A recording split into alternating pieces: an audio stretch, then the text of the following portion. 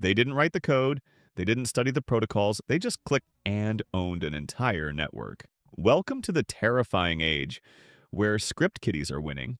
And the scariest part, it's not because they're smart, it's because we made it easy. We used to laugh at them. Script kiddies, the noobs who ran tools they didn't understand. No real skills, no real knowledge. Just copying and pasting code from GitHub, blindly running Nmap, launching SQLmap, or firing off Metasploit payloads like it's a Call of Duty kill streak. But somewhere along the way, they started winning. While elite hackers sat for hours trying to write a custom exploit, script kiddies just ran autosploit and scored access. They didn't debug code one day, they just reloaded a YouTube tutorial and clicked run. Kids as young as 14 are earning $10,000 bug bounties. Take Santiago Lopez, aka at Try to Hack. He started hacking at 15, and by 19 he made over $1 million just by responsibly disclosing vulnerabilities. These aren't elite coders. They're Google ninjas with good copy-paste timing. They find IDOR CSRF broken authentication. With Burp Suite templates and a good word list, you don't need a PhD in computer science. You just need persistence and an internet connection. They don't build tool, they collect them like Pokemon cards. With ChatGPT, they can ask, write me a reverse shell in Python, and it's done. No syntax errors, no stack trace nightmares. Just copy, paste, and execute. GitHub, it's a gold mine, overflowing with public repositories of privilege escalation scripts, zero days, and automated exploitation frameworks. With a few keywords and a cloned repo, they're inside your machine faster than your SIEM can blink. They fire up Burp Suite, load some extensions, and now they've got auto recon and passive scanning doing the dirty work. Finding weak headers, vulnerable parameters, exposed tokens. Then they jump into Shodan or Censys, typing something as simple as intitle login or port 9200 country set to US, and boom.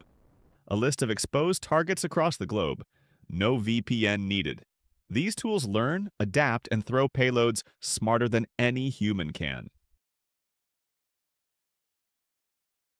And if that's not enough, sprinkle in some social engineering. Maybe it's a phishing email with a cloned login page from Evilginx, or a malicious link masked behind a convincing support message. One click, and they've got session tokens. Maybe even bypassed MFA. They don't ask how it works. They just ask, what's next? Let's be honest. We made this monster. Cybersecurity was never meant to be accessible to the average 12-year-old. But between open source tooling, AI assistance, and a lack of digital ethics education, we've created an environment where any teenager can act like an APT. Here's how oversharing of tools, tools meant for professionals like Cobalt Strike, Metasploit, and Sliver were leaked, pirated, or recompiled into cracked versions. Now they're everywhere, from forums to Telegram groups. No mentorship or gatekeeping, we didn't teach them the ethics. We gave them the weapon, but never taught them when to use it. There's no hacker culture anymore, just download culture. AI lowered the barrier. It writes shell code, bypasses filters, solves CAPTCHAs, and even explains complex topics like buffer overflows in seconds. If you want to break in, AI will hold your hand. We celebrated results, not knowledge. Kids see bug bounty leaderboards filled with teenagers. They see exploit devs struggling in silence while script kiddies collect cash. The message is clear. Why learn when you can just run the script? Why it's terrifying? Because now, the gap between capability and understanding is gone. You don't need to know how a car engine works to drive 200 miles per hour into a wall. And script kiddies are doing it just that, at scale. They deface sites they don't understand. Ransomware networks run from kids' bedrooms. They post stolen logins on forums just to impress Discord friends. This isn't about curiosity. And now, every failed patch, exposed S3 bucket, or misconfigured Jenkins server is just low-hanging fruits for a kid who barely knows what DNS is. This isn't just a script kiddie problem, it's a community problem. It's a culture problem. And above all, it's a consequence of convenience. We created a world where it's easier to hack than to secure. We reward clout over ethics. We celebrate fast wins over deep learning.